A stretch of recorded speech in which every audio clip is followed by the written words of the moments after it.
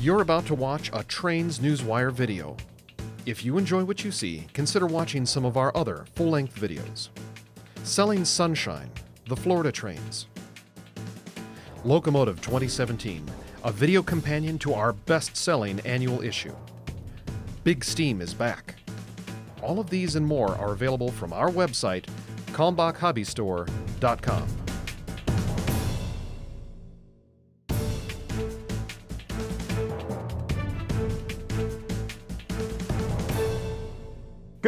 morning, Trains Nation. Today is Friday, March 2nd, 2018. All day, Until midnight. dun dun dun. It's our shtick. Hey, we're so glad you could join us for another episode of Trains Newswire Roundup. I am Steve Sweeney. Hi, Jim Wrinn here, and we've got plenty of news. Mm-hmm. Just this morning, I counted our 30th Newswire story of the week, Yep. and there'll be more coming. Where that is, where that comes from.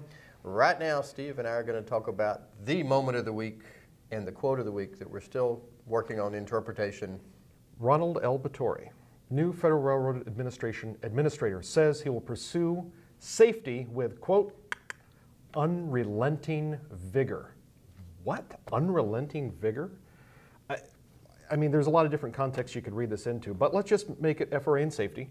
And, you know, There's there- been a lot of there's been a a lot lot. of talk on PTC. Congress isn't happy. We've had a lot of fatal derailments Yep. lately. You know, I mean, it's a it's a sensitive time to be in that job, and and I think everyone wants to take it with all seriousness. And of course, you know, the the truth of the matter is that uh, Batory's uh, nomination was Mm-hmm. delayed for months. It was held up in Congress and all the wrangling and, and deal making that they Mm-hmm. Right. they make on until some folks in New York and New Jersey decided to relent finally. Mm-hmm. Uh, but yeah, it's an interesting it's an interesting quote.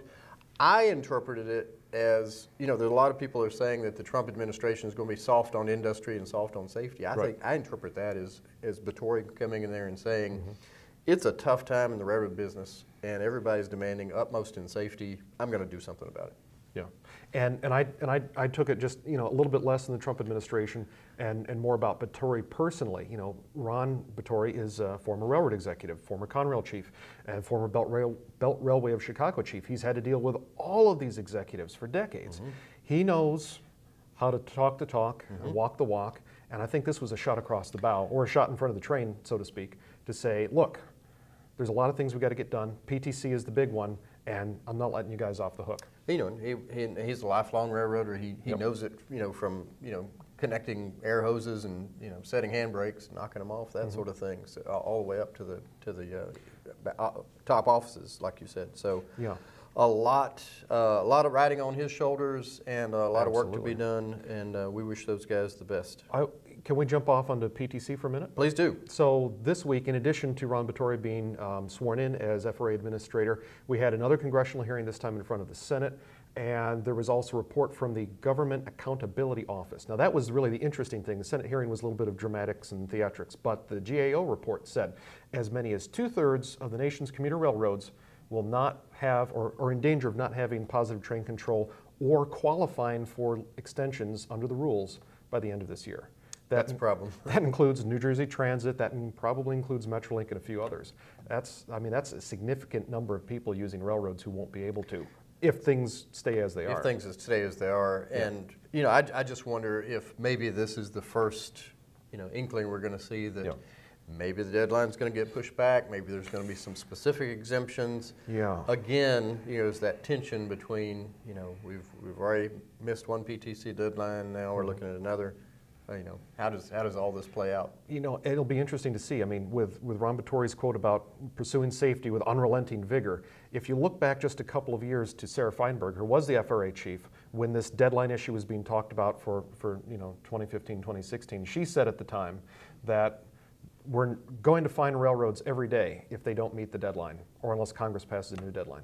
I, I think Ron might actually go there.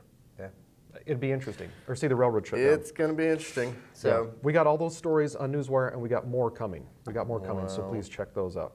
Um, I got some CSX news, I, I was just about to say, can we talk about CSX now?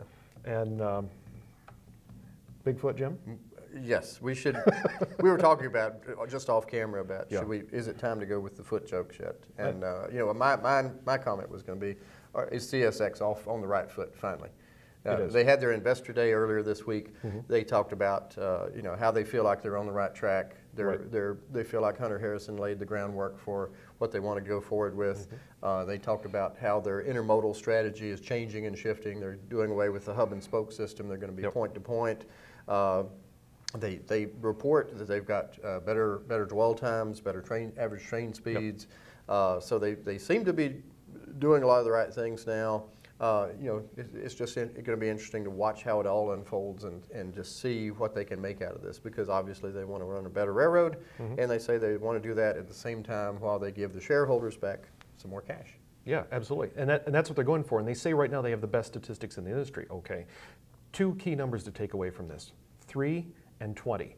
Three is the number of years they give themselves on their growth plan, and 20 is 20% that they're cutting back on equipment and equipment used on the railroad, including car turns and employees. Right. So by 2020, uh, and in three years that is, CSX wants to have 20% less of everything on the railroad to get those wonderful numbers for shareholders. Right. So in three years, let's see if they're still holding out on that. Yeah, absolutely. it'll be interesting.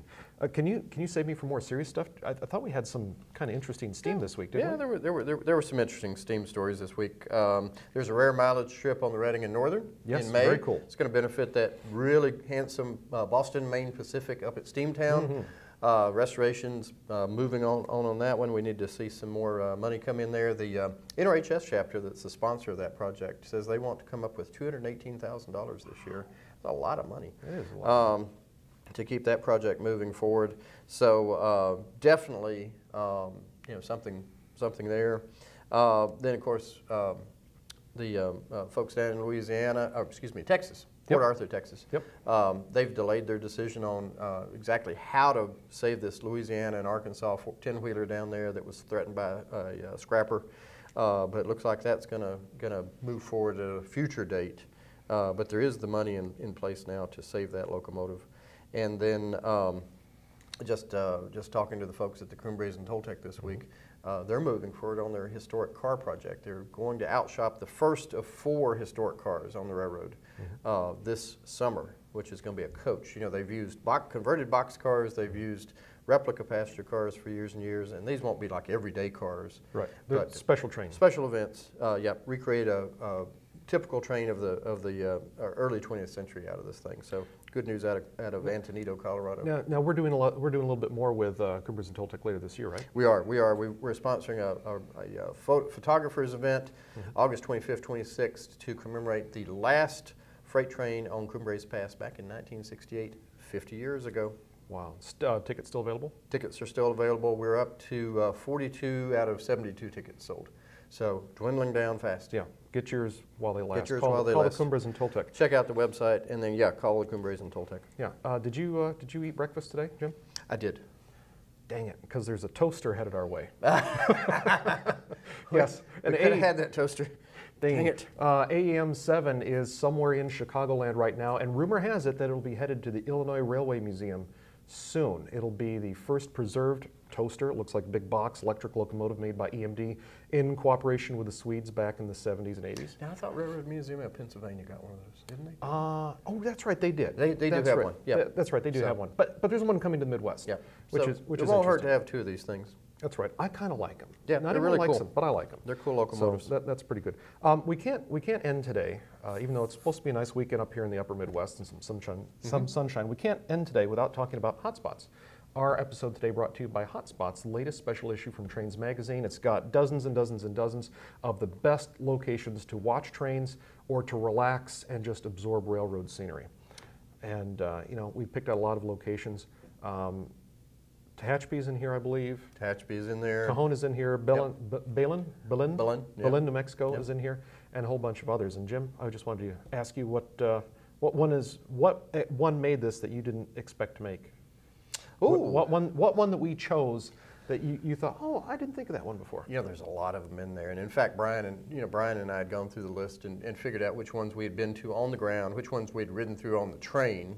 Oh, that's right. And uh, we really haven't done anything with that. We really should do something with that lately. But uh, yeah, there's the, there's tons of them in there. It's more of the question of which ones I haven't been to that I want to Okay. go see. And uh, I've got a trip coming up later this month that's going to take me to Berlin. So that'll be nice, and, and I'm looking forward to getting to back there after many years away. Absolutely, absolutely. You can pick up this uh, copy. You can pick up videos that are related to this on our website, kalmbachhobbystore.com, and be sure to check out our website, trainsmag.com, for all the latest in news. For everyone at Trains, have a great weekend. Take care, everyone.